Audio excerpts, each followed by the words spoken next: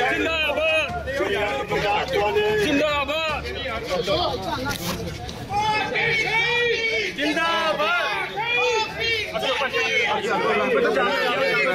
ਪੰਜਾਬ ਦੇ ਸਾਬਕਾ deputy chief minister Om Prakash Soni ਨੂੰ ਅੱਜ ਅੰਮ੍ਰਿਤਸਰ ਦੀ ਅਦਾਲਤ ਦੇ ਵਿੱਚ ਪੇਸ਼ ਕੀਤਾ ਗਿਆ, ਜਿੱਥੇ ਉਹਨਾਂ ਨੂੰ 14 ਦਿਨਾਂ ਦੇ ਜੁਡੀਸ਼ੀਅਲ ਰਿਮਾਂਡ ਤੇ ਭੇਜ ਦਿੱਤਾ ਗਿਆ। ਤੁਹਾਨੂੰ ਦੱਸ ਦਈਏ ਕਿ ਵਿਜੀਲੈਂਸ ਵੱਲੋਂ ਉਹਨਾਂ ਦਾ ਅੱਜ ਫਿਰ 2 ਦਿਨ ਦਾ ਰਿਮਾਂਡ ਮੰਗਿਆ ਗਿਆ ਸੀ, ਪਰ ਅਦਾਲਤ ਨੇ ਉਹਨਾਂ ਦੀ ਅਰਜ਼ੀ ਸਵੀਕਾਰ ਨਹੀਂ ਕੀਤੀ। ਓਮ ਪ੍ਰਕਾਸ਼ ਸੋਨੀ ਦੇ ਵਕੀਲ ਜਿਹੜੇ ਨੇ, ਉਹਨਾਂ ਦਾ ਪ੍ਰਦੀਪ ਸੈਣੀ, ਉਹਨਾਂ ਦਾ ਕਹਿਣਾ ਹੈ ਕਿ ਵਿਜੀਲੈਂਸ ਵੱਲੋਂ ਬੇਬੁਨਿਆਦ ਝੂਠੇ ਆਰੋਪ ਲਗਾਏ ਜਾ ਰਹੇ ਨੇ। ਓਮ ਪ੍ਰਕਾਸ਼ ਸੋਨੀ ਦੀ ਤਬੀਅਤ ਖਰਾਬ ਹੈ। ਅੱਜ ਵੀ ਉਹਨਾਂ ਨੂੰ ਵੀਲ ਚੇਅਰ ਤੇ ਅਦਾਲਤ ਦੇ ਵਿੱਚ ਪੇਸ਼ ਕਰਨ ਵਾਸਤੇ ਲਿਆਂਦਾ ਗਿਆ ਸੀ। ਤੁਹਾਨੂੰ ਦੱਸ ਦਈਏ ਕਿ ਓਮ ਪ੍ਰਕਾਸ਼ ਸੋਨੀ ਨੂੰ 9 ਜੁਲਾਈ ਨੂੰ ਚੰਡੀਗੜ੍ਹ ਦੇ ਇੱਕ ਮਾਲ ਚੋਂ ਗ੍ਰਿਫਤਾਰ ਕੀਤਾ ਗਿਆ ਸੀ। ਉਹਨਾਂ ਤੇ ਆਰੋਪ ਹੈ ਕਿ ਉਹਨਾਂ ਨੇ ਆਪਣੀ ਆਮਦਨ ਤੋਂ ਵੱਧ ਜਾਇਦਾਦ ਬਣਾਈ ਹੈ। 17 ਜੁਲਾਈ ਨੂੰ ਉਹਨਾਂ ਨੂੰ ਵਿਜੀਲੈਂਸ ਨੇ ਫਿਰ ਦੁਬਾਰਾ ਅਦਾਲਤ 'ਚ ਪੇਸ਼ ਕਰਕੇ 2 ਦਿਨ ਦਾ ਰਿਮਾਂਡ ਹਾਸਲ ਕੀਤਾ ਸੀ। ਤੁਹਾਨੂੰ ਦੱਸ ਦਈਏ ਕਿ ਜਦੋਂ ਪਹਿਲਾਂ 10 ਜੁਲਾਈ ਨੂੰ ਸੋਨੀ ਸ- ਓਮ ਪ੍ਰਕਾਸ਼ ਸੋਨੀ ਨੂੰ ਅਦਾਲਤ ਦੇ ਵਿੱਚ ਪੇਸ਼ ਕੀਤਾ ਗਿਆ ਸੀ ਉਦੋਂ ਉੱਥੇ ਉਹਨਾਂ ਦੀ ਤਬੀਅਤ ਖਰਾਬ ਹੋ ਗਈ ਸੀ ਤੇ ਉਹਨਾਂ ਨੂੰ ਹਸਪਤਾਲ ਦੇ ਵਿੱਚ ਲੈ ਕੇ ਜਾਇਆ ਗਿਆ ਸੀ, ਜਿੱਥੇ ਡਾਕਟਰਾਂ ਨੇ ਉਹਨਾਂ ਨੂੰ ਭਰਤੀ ਕਰ ਲਿਆ ਸੀ। ਓਮ ਪ੍ਰਕਾਸ਼ ਸੋਨੀ ਦੇ ਹਾਰਟ ਦੇ ਵਿੱਚ ਪੇਸਮੇਕਰ ਪਿਆ ਹੋਇਆ ਹੈ, ਉਹਨਾਂ ਨੂੰ ਨਿਊਰੋ ਦੀ ਵੀ ਪ੍ਰੋਬਲਮ ਹੈ, ਉਹ ਡਾਇਬੀਟਿਕ ਵੀ ਨੇ, ਹੋਰ ਵੀ ਉਹਨਾਂ ਨੂੰ ਕਈ ਬਿਮਾਰੀਆਂ ਨੇ।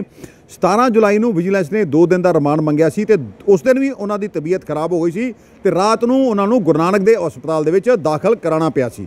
ਕੱਲ ਫਿਰ ਵਿਜੀਲੈਂਸ ਦੀ ਟੀਮ 18 ਜੁਲਾਈ ਨੂੰ ਉਹਨਾਂ ਨੂੰ ਲੈ ਕੇ ਵਿਜੀਲੈਂਸ ਦੇ ਦਫ਼ਤਰ ਆਂਦੀ ਏ, ਜਿੱਥੇ ਉਹਨਾਂ ਕੋਲੋਂ ਪੁੱਛਗਿੱਛ ਕੀਤੀ ਗਈ।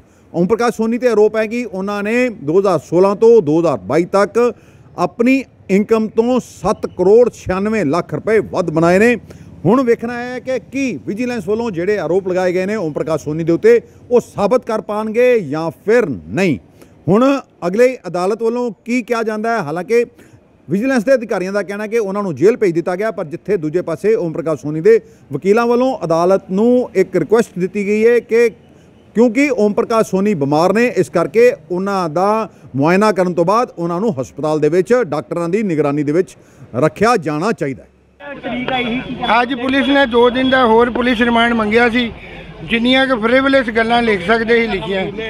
ਸਰ ਔਰ ਅੱਜ ਅੱਜ ਕੀ ਅਪਡੇਟ ਆਈ ਹੈ ਜੀ ਅੱਜ? ਸਰ ਪੁਲਿਸ ਪੁਲਿਸ ਨੇ 2 ਦਿਨ ਦਾ ਵਿਜੀਲੈਂਸ ਡਿਪਾਰਟਮੈਂਟ ਨੇ ਪੁਲਿਸ ਰਿਮਾਂਡ ਮੰਗਿਆ ਸੀ ਔਰ ਉਹਦੇ ਵਿੱਚ ਪੁਲਿਸ ਰਿਮਾਂਡ ਦੀ ਕਾਪੀ ਵੀ ਸਾਡੇ ਕੋਲ ਹੈ ਜੋ ਇੱਕ ਸਟੀਰੀਓਟਾਈਪ ਪ੍ਰੋਸੀਡਿੰਗ ਪਹਿਲਾਂ ਚੱਲ ਰਹੀਆਂ ਜੀ ਇਹਨਾਂ ਦਾ ਉਹ ਵੈਰੀਫਾਈ ਕਰਨਾ ਇਹਨਾਂ ਦਾ ਉਹ ਵੈਰੀਫਾਈ ਕਰਨਾ ਹੈ। ਅਸੀਂ ਆਰਗੂ ਕੀਤਾ ਹੈ ਤੇ ਜੱਜ ਨੇ ਇਹਨਾਂ ਨੂੰ ਪੁਲਿਸ ਰਿਮਾਂਡ ਰਿਜੈਕਟ ਕਰਤਾ ਤੇ ਜੁਡੀਸ਼ੀਅਲ ਰਿਮਾਂਡ ਦੇ ਵਿੱਚ 2-8 ਤੱਕ ਅਸੀਂ ਜੇਲ੍ਹ ਅਥਾਰਟੀਜ਼ ਨੂੰ ਲਿਖਾਂਗੇ ਕਿ ਜੋ ਜੁਡੀਸ਼ੀਅਲ ਲਿਖਾਂਗੇ ਕਿ ਇਹਨਾਂ ਦੀ ਤਬੀਅਤ ਖਰਾਬ ਹੈ? ਇਹਨਾਂ ਦਾ ਰਿਕਾਰਡ ਹੀ ਦੱਸਣ ਡਿਆ ਮੈਡੀਕਲ ਬੋਰਡ ਜਿਹੜਾ ਬਣਾਇਆ। ਕੱਲ ਜਿਹੜੀ ਇਹਨਾਂ ਦੀ ਤਬੀਅਤ ਸੀ ਉਹ ਵੀ ਖਰਾਬ ਹੈ। ਇਹ ਹੁਣ ਬਾਕੀ ਮਾਨ ਸਾਹਿਬ ਦੱਸਣਗੇ ਕਿ ਉਹਨਾਂ ਨੇ ਅੱਗੋਂ ਕੀ ਡਾਇਰੈਕਸ਼ਨ ਇਸ਼ੂ ਕੀਤੀ। ਇਹਨਾਂ ਨੂੰ ਇਹੋ ਹੀ ਰਿਕੁਐਸਟ ਕਰਨੀ ਹੈ ਜੇਲ੍ਹ ਅਥਾਰਟੀ ਨੇ ਕੋਰਟ ਨੇ ਇਹਨਾਂ ਨੂੰ ਕਿਹਾ ਕਿ ਇਹਨਾਂ ਦਾ ਮੈਡੀਕਲ ਹੋਵੇ। ਔਰ ਉਹਦਾ ਦੇਖੋ ਉਹਦਾ ਫੈਸਲਾ ਹੁਣੇ ਥੋੜੀ ਦੇਰ ਤੱਕ ਆ ਜਾਏਗਾ ਹਾਲੇ ਮੈਡੀਕਲ ਹੋਏਗਾ ਤਾਂ ਮਤਲਬ ਹਾਂਜੀ ਬਿਲਕੁਲ ਹੋਏਗਾ ਜੀ। ਜੁਡੀਸ਼ੀਅਲ 2-8 ਤੱਕ ਗਏ ਇਹ ਤੇ ਜੇਲ੍ਹ ਭੇਜ ਰਹੇ ਤੁਸੀਂ ਤਾਂ ਜੇਲ੍ਹ ਲੈ ਕੇ ਜਾਏਗਾ ਜਾਂ ਹਾਂਜੀ। ਜਾਂ ਮੈਡੀਕਲ ਹੋਏ ਜਾਣਾ ਨੇ ਜੇਲ੍ਹ ਸੁਪਰਡੈਂਟ ਅੱਗੇ ਜੋ ਡਾਇਰੈਕਸ਼ਨ ਜੇਲ੍ਹ ਸੁਪਰਡੈਂਟ ਨੂੰ ਮਿਲੀ ਹੈ ਉਹਦੇ ਮੁਤਾਬਕ ਕਰਦੇ ਤੁਸੀਂ ਤਾਂ ਜੇਲ੍ਹ ਜਾ ਰਹੇ ਜੀ ਜੇਲ੍ਹ ਜਾ ਰਹੇ